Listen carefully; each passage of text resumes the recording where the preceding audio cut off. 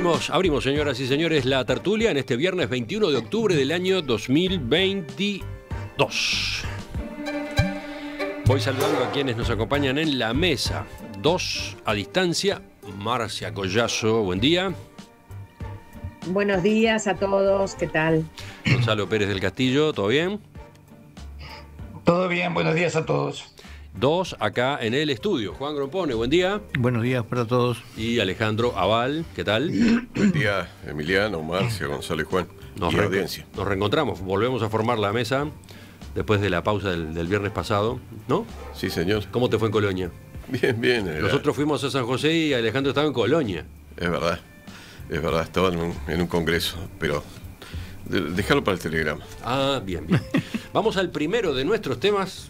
Viene por el lado de la energía atómica.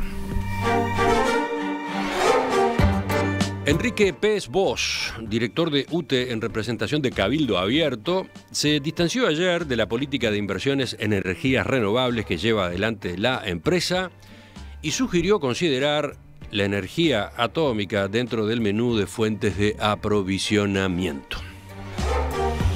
En una entrevista con el semanario Búsqueda, el jerarca puso en duda los planes que anunció la presidenta de UTE, Silvia Maldi, en cuanto a adelantar inversiones en parques solares y en energía eólica.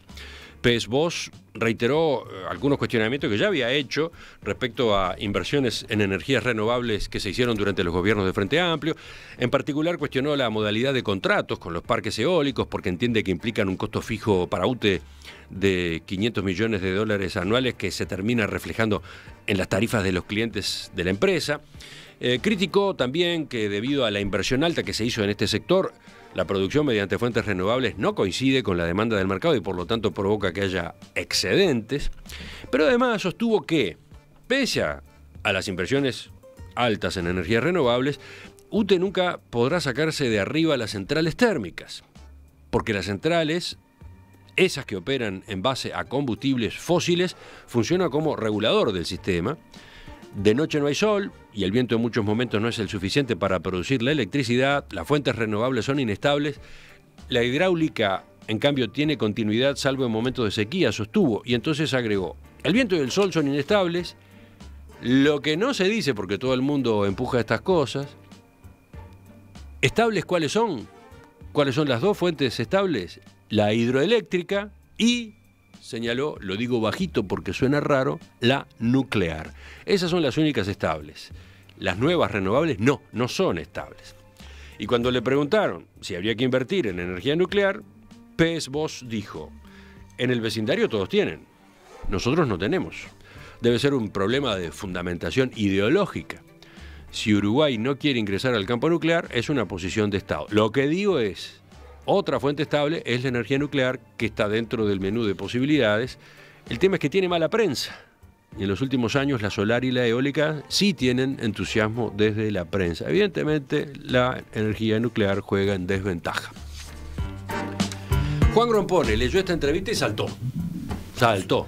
Absolutamente. Yo quiero hablar de eso. ¿Por qué? Bueno, en- este era un tema tabú que tenía con Carlos Maggi. El único tema con el cual yo le había propuesto que no nunca lo discutiéramos porque nos íbamos a pelear. Hubo algunos debates, hubo, Sí, llegó a ver. pequeños debates. Bueno, pero yo quiero, quiero contrarrestar toda esta argumentación que me parece equivocada, absolutamente equivocada.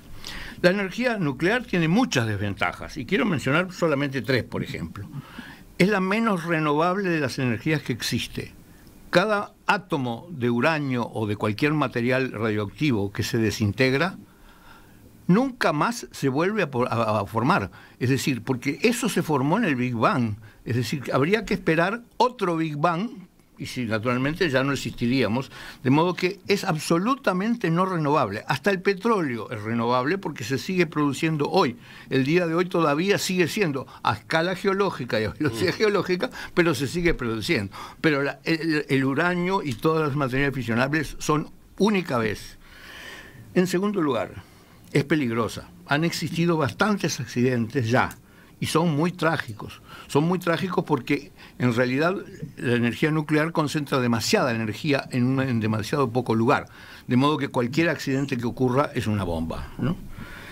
Tercer lugar, no es tan barata como dicen, no es tan barata como dicen, porque los residuos son muy caros de, de, disponer. Es decir, ¿qué se hace con el material que no, no, se, no se usa más? Es, es, muy, caro, muy caro y muy peligroso los residuos. Y mucho más, cuando termina la vida útil de cada, de cada, fábrica, cada eh, generador nuclear, cuesta más o menos lo mismo que haberla instalado, desinstalarla. Es decir, es carísimo desinstalarla. Y eso no se tiene en cuenta. Es decir, se, piensa que la energía nuclear es gratis y que no hay que preocuparse de los residuos y que no hay que preocuparse de que algún día hay que desarmarla. Bueno, y entonces quiero hablar ahora sobre la imprevisibilidad de la generación eólica. Sí, porque lo que maneja como, como argumento principal PS2 es que la energía nuclear tiene estabilidad, tiene como gran ventaja la estabilidad. Ahí está, y hay dos razones por las cuales está equivocado. En primer lugar, en 1912, una Víctor Sudrier, este, ministro de Valle, ingeniero, hizo todo el plan de, generación eh, hidráulica para el país. Plan que todavía, todavía se ha cumplido prácticamente completo, excepto un punto eh, Sudría introducía lo que se llamaba la energía reguladora del Cerro de Montevideo, que consistía en perdón, ¿cómo? ¿Energía? reguladora del Cerro de Montevideo. Cerro. Del Cerro de Montevideo. Que consistía que, él lo ponía así, que durante la noche el consumo de energía baja mucho. Entonces, lo que se puede hacer con la, con la energía de electricidad generada es subir agua al Cerro de Montevideo a 150 metros de altura. Y durante el día bajarla por una turbina, por la misma turbina que le había hecho subir, bajar la energía. De esa y la, generar, y generar, y recuperar la energía generada. En otras palabras, él proponía. el automóvil hoy día. él, él, este, él, proponía un sistema muy, muy, muy simple de, de, almacenamiento de energía, que era subiendo agua. Cosa que no está descartada, es decir, en, el, en la administración anterior de UTE empezó a ser considerado el tema, no, no sobre cerros, sino sobre otro, otros cerros, otros ah, cerros de almacenamiento de agua. Mira qué interesante. Pero más aún, hay otra fuente de almacenamiento que tiene enorme futuro y está en, explotación y, en cualquier momento empieza a funcionar, que es el hidrógeno. Es decir, la electricidad excedente que, que sobra se, se convierte en hidrógeno, que luego se puede reconvertir a través de turbinas, de esas turbinas que funcionarían con hidrógeno. Y tercer argumento, la energía sobrante que la energía sobrante que tenemos por generación en este momento se ha exportado. Ha sido la fuente de los grandes ingresos de UTE y que aprovecharon eh, aprovecharon para quemar combustible y hacer otras cosas y venderle a los países vecinos. Es decir, de modo que no es que se genere de más, no es un problema. No es un problema, es al contrario, es un ingreso de divisas. Bueno, habló Juan conduciendo su aplanadora. dejó poco margen para la discusión o todavía alguien piensa acá en defender a la energía nuclear? Pregunta, a ver, mínimamente, titular, ¿sí o no? Alejandro. Eh, eh, teóricamente sí, pero en la práctica no, y menos para Uruguay. Marcia, titular de tu respuesta. Bueno, eh, lo mismo, mi, mi titular es recordar la frase de Kant, la insociable sociabilidad de los hombres. Mm, Entonces Kant decía, la guerra, la guerra es un fenómeno siempre latente y que aparece en los lugares menos supuestos, en los momentos menos imaginados, y se vale de cualquier cosa. Recordemos que el primer homínido que fue a la guerra enarboló un hueso, ¿no? Este, o un palo, yo creo que fue un hueso más bien porque es más duro. Eh, no digo que no, me parece un reduccionismo fatal el sí y el no. Bueno. No digo que no, recuerdo esto. muy bien. ¿Y Gonzalo, así en, un titular para después profundizar? Lo titular, yo diría, sí, yo no tengo desacuerdos básicos con lo que dice Juan, este, pero me parece que la energía atómica, como todo eh, descubrimiento científico que el hombre ha realizado, no es peligroso de por sí. Eh, lo que es peligroso es el uso que hacemos de él y, el tipo de control y de protocolos que se usan para esa tecnología. Y pues, ese es el único marco que le quiero poner a, a lo que dice Juan. Este, yo no creo que tenemos que, diabolizar a la energía atómica. La energía atómica tiene usos importantes en la medicina, en la agricultura, en, en el arte incluso. Sí. Este, y entonces no es la energía atómica el problema. El problema es el uso malo que hacemos de ella.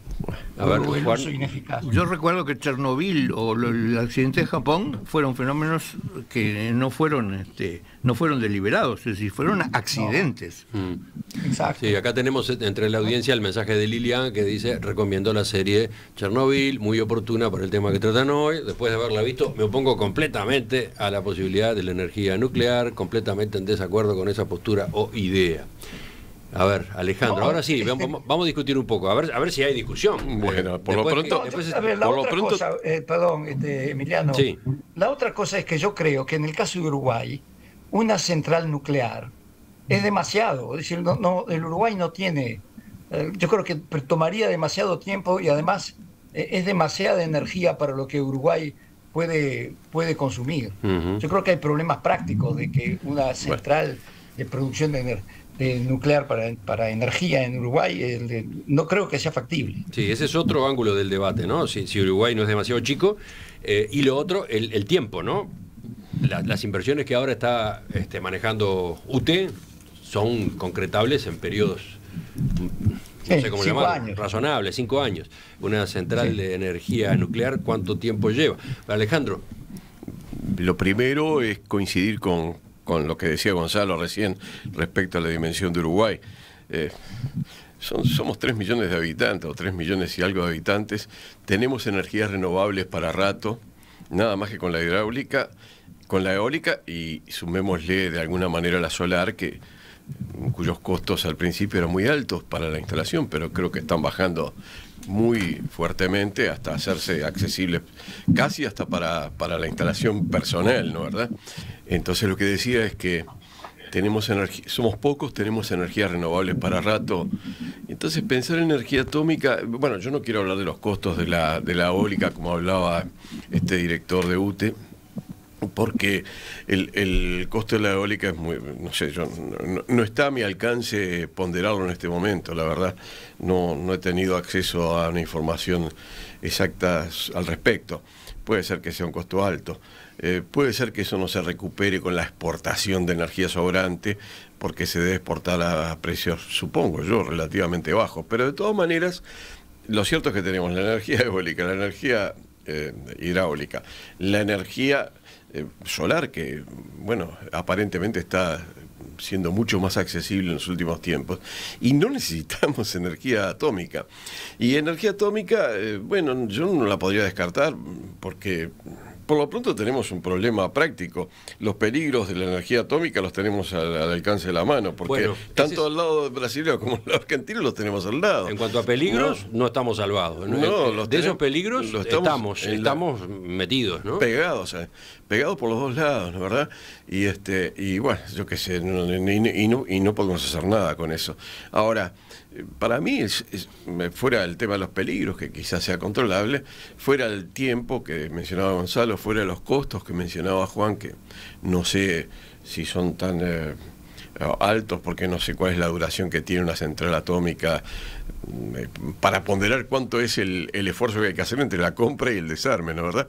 Pero bueno, sea lo que fuere, la verdad eh, vuelvo a lo que dije al principio, por lo menos para nosotros, creo que en un futuro eh, inmediato y en un futuro inmediato no tiene mayor sentido pensar en energía atómica. Mm. Tenemos demasiadas energías renovables que nos están sobrando. Bueno, nos están sobrando, pero hay momentos en que no son suficientes. Bueno, y a, eso apunta, a eso apunta Pez vos cuando dice, bueno, pero si vamos por acá, si vamos a seguir por acá, las centrales térmicas las centrales térmicas, las que funcionan en base a derivados del petróleo, van a tener que prenderse cada tanto, ¿no? Emiliano, tenemos un, 1%. menos del 1%, El año pasado menos del 1%. Pero aún si se usara mucho más, la central Valle que tenemos acá cerca nuestro, en, estas instalaciones de la radio, porque la tenemos relativamente cerca, eh, cubre absolutamente las necesidades, por lo menos de la región metropolitana. Y en el interior hay alguna otra central eh, térmica que creo que todavía está en condiciones de funcionar como simplemente para el caso de que sea necesario llegar a terminar de cubrir eh, en algún momento la falta de energía. Pero eh, fuera de que hay algunas maneras también de acumular la energía que resulta las energías renovables, como el, ejemplo que de Sudrier que, que planteaba recién Juan, ¿no? que nunca lo había oído, pero me resulta muy interesante. Y, bueno, y la energía térmica, al fin y al cabo, se utilizó el último año en menos del 1%. Usted dijiste el 1%, Juan, no, fue menos del 1%. Fue menos del 1%, creo que el 0,40 o algo así. Mm. Por ciento de la energía consumida en el Uruguay fue energía producida con las fuentes térmicas. Es decir, eh, con el genéricamente con el petróleo. Marcia, volvemos contigo para que desarrolles lo que habías comenzado a, exponer. Tú, tú terminabas aludiendo a la guerra o a las posibilidades de guerra. ¿Por qué? Bueno, lo que pasa es que me parece que el principal temor que siempre nos suscita la energía nuclear a todos los seres humanos, más allá, dejo de lado, por supuesto, el conocimiento experto, técnico, científico, ¿no? Que, eh, podríamos hablar, eh, podríamos situarnos en esa dimensión. Eh, bueno, yo no, por supuesto, pero quiero decir, hay muchas maneras de abordar el problema. Pero me parece que desde lo que sería, bueno, la mayor parte de los seres humanos, lo que sobrevuela es el miedo y, un miedo muy bien fundado, por cierto, porque recordemos que, eh, los primeros experimentos con energía nuclear destinada a la guerra fueron en 1944, creo, y en, de inmediato se arrojaron dos bombas nucleares sobre Japón. Las arrojó Estados Unidos, ¿no? Sobre Hiroshima y Nagasaki. Entonces me parece que el debut fue desastroso, fue horroroso de todo punto de vista y hasta el día de hoy siguen siendo este, terribles esos recuerdos, ¿no? Entonces, claro, tenemos muy buenos argumentos fácticos para tenerle miedo. Eh, yo siempre digo, lo, dije cuando estuvimos en San José, lo comenté fuera del micrófono. Eh, Ustedes saben cuánto tiempo vivieron los dinosaurios, vivieron los dinosaurios, ¿eh? no cuánto hace que se extinguieron, sino cuánto tiempo vivieron. Bueno, se, se, estima que entre unos 160 y 165 millones de años vivieron. Nosotros, como homínidos, por decir así, llevamos un milloncito. Bueno, el Australopithecus tiene unos 3 millones y medio de años, ¿no? Lucy, este, esa que bautizaron así en honor a la canción de los Beatles, Lucy en el cielo de diamantes o con diamantes, pero era un Australopithecus. Ahora, nosotros, los Homo sapiens sapiens, es terrible si les digo que tenemos más o menos unos 100.000 años. Y ya estamos pensando en desarrollar con bombos y platillos esta energía nuclear que miren, yo simplemente voy a tirar unos datos para la audiencia. Estados Unidos tiene 93 reactores, Francia tiene 56, China 53, Rusia 38 y Japón 33, y después siguen muchos más. Está muy bien, está perfecto desde el punto de vista, reitero, científico, técnico, eh, aplicaciones de todo tipo en beneficio de la humanidad, pero el peligro potencial que encierran, avalado por la experiencia. Este, y el refuerzo que yo decía del pensamiento filosófico, que es muy sombrío con respecto a la guerra, eh, bueno, nos da un saldo de que tenemos que ser por lo menos muchísimo más precavidos con estos, porque no estamos nosotros capacitados como especies para dedicarnos a manipular cosas tan delicadas como la energía nuclear, habida cuenta de que no podemos vivir un solo día de nuestras vidas sin conflictos bélicos. Bueno, tengo muchos oyentes participando. ¿eh? Tengo varios aportes, pero puedo elegir este, por ejemplo, de Gustavo, que dice, cuando señalan que la energía nuclear sería excesiva, una planta de este tipo no se justificaría para los 3 millones que somos, Recuerdo de Maggi su lucha por una banda ancha mayor de Internet, mientras Antel decía que no había demanda satisfecha y que sobraba. El tiempo le da la razón a Maggi con el tema de Internet, ¿no? Si se genera más energía, será más demandada. Desde los autos a cada aspecto de nuestra vida se digitalizarán muy rápido. Bueno, y en cuanto a la energía, venderíamos el excedente. Por favor, amplitud de miras Estoy muy desilusionado. Pensé que verían más lejos, dice el oyente. No me mires. no, mirá, a Juan. Lo miro a Juan. no, no, yo también. Yo dije, yo dije que no descartaba la energía atómica, pero, pero que entendía que era innecesario con la situación actual inmediata, inmediata, dado la, cantidad de energía renovable que tenemos. A ver. Pero, pero bueno, pero Juan era un poco más opuesto que yo. Yo creo que ver más lejos es mirar en el hidrógeno. El hidrógeno es, la solución a todos, estos problemas. El hidrógeno es un combustible absolutamente limpio. delicado para manejar, ¿no? Delicado para manejar, pero un poco, un poco peor que las garrafas de supergas, pero no mucho más. Este, de modo que, y además podrían funcionar los, los vehículos con, con hidrógeno, en una cantidad de cosas. Eh, inclusive pueden funcionar de, una manera mala como es ahora con baterías, mm. o de una manera buena con este con, combustión interna, ¿no? Es decir, usar como combustible el hidrógeno. Recordemos, el hidrógeno se produce a partir de la electrólisis. agua, electricidad y agua. Pero hay que aplicarle al agua, hay que aplicarle energía eléctrica. Y la gracia está en generar lo que se llama hidrógeno verde, o sea, un hidrógeno que se produce utilizando a su vez energía eléctrica de fuente renovable, cosa que en el caso de Uruguay podría ser justamente la energía de, los aerogeneradores que sobra, ¿no? En los momentos en que sobra la energía de los aerogeneradores. Es una manera de almacenar la energía. Ah, sería una forma de almacenar energía, por ahí está uno de los caminos que, se plantea. Pero Marcia quería agregar algo, parece, la estaba escuchando, ¿sí? Mis objeciones no son para el Uruguay. La amplitud de miras, bienvenida sea. A ver, el Uruguay no va a cambiar demasiado el orden mundial si pone un, este, un reactor, un reactor que ponga. No va a cambiar demasiado nada. O sea, en realidad eh, no estoy hablando de tener amplitud de miras o no tener amplitud de miras para el caso puntual y específico de Uruguay. Estoy hablando de algo mucho más macro. Me parece que es un análisis que todos nos debemos a la hora de pensar en esta. Gonzalo, ahora sí. Bueno, yo creo que, que vuelvo a lo que dije anteriormente, el, tema no está en, la energía atómica per se. Evidentemente, si, si Marcia se refiere a la el primer experimento fue crear una bomba para tirarla sobre un par de poblaciones civiles, eso es un desastre, pero no es, no es culpa de la energía atómica. Eso tiene otro, tiene otros eh, motivos. Eh, lo que está mal es el uso que se hace. Este, a mí me parece que la energía atómica es algo que tenemos que seguir investigando.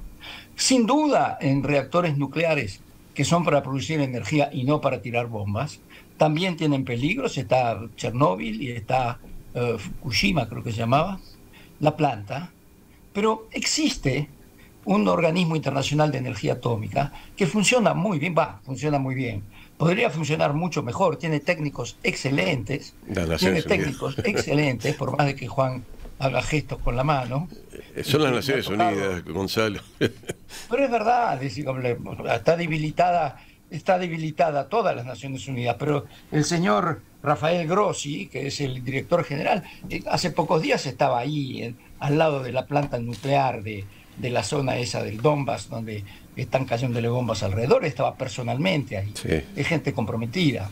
Ahora, esta gente y muchas más tienen que tener la capacidad, en un mundo en el que hay todos esos reactores nucleares que decía Marcia, de poder controlar y, verificar. Porque lo de Chernóbil fue un problema de mantenimiento. Lo de Fukushima no, Fukushima sí, no fue. Lo de Fukushima fue que era una planta vino un maremoto y esa planta estaba construida en un lugar que, evidentemente no debía estarlo, porque era un lugar que podía tener ese tipo de problemas. Pero vuelvo y insisto, el, el tema no es negar la ciencia, el tema no es negar este descubrimiento, que como digo, tiene muchos usos, que son muy positivos. El, el, tema es cómo los usamos. Evidentemente, si la primera utilidad es para crear bombas atómicas, es un desastre. Y, si es para generar o poner este, centrales nucleares de generación de energía en lugares que, no son adaptos, aptos o no las mantenemos eh, regularmente, bueno, eh, sí, pero, pero no, no demonicemos la, tecnología. Juan. Yo quiero dar mi último, un argumento que tal vez no se comprendió en su, en su contenido las existencias de material fisionable en el planeta son finitas, agotables. La necesidad de hacer reactores nucleares son esenciales, por ejemplo, para uso medicinal y para investigación. Entonces, eh, consumir el uranio, para decirlo simple, consumir el uranio para calentar agua, para hacer, generar energía eléctrica, es un disparate, cuando en realidad eso se va a necesitar para precisamente una cantidad de trazadores radioactivos y una cantidad de cosas para uso médico e investigación. Es decir, estamos consumiendo un, recurso escaso en, para calentar agua, que se puede reemplazar por otros recursos que no son, no son escasos. Pero la, pero la producción eh, eh, eh, es, es muy finita la producción de uranio. Pero claro que sí. Porque... No sé, te pregunto porque no estoy en conocimiento de eso. Pero, digo, se puede medir eh, al, nivel de consumo actual, se puede medir en años, es decir, en 10 años, 50 años, 100 años, no sé. ¿Cuándo se agota o no? No hay, no hay yo no, he visto nunca una, estimación de cuánto uranio, cuánto, cuánto, material fisionable hay sobre la, corteza terrestre, pero no es una cosa abundante. ¿Y para abajo? No, es una hay fuentes que dicen que sí, este, mirá que hay, hay, fuentes que dicen que los recursos para producir energía de esta eh, son, sí, no son, tienes razón en que son, no son renovables, pero son prácticamente inagotables. Este, bueno, la, bomba de fisión tiene que ver con hidrógeno y fisión de cuatro átomos de hidrógeno para producir uno de helio. Eso es infinito lo que hay es, casi inagotable. Así que no, no, es, no, es, no es tan así de que, de que se agota. Mirá. Pero en fin, ese no es el argumento. Yo creo que estoy de acuerdo con lo que, con tu última intervención de que de, lo que estás diciendo. yo creo que es una energía muy importante, es un descubrimiento de la razón humana, tecnológico, que es fantástico y que hay que utilizarlo para los fines para los que sirve. Dice, dice Francisco, esto puede cambiar.